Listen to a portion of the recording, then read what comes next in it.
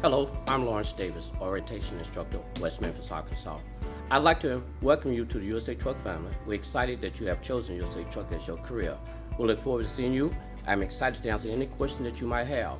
Thank you, and welcome to USA Truck family.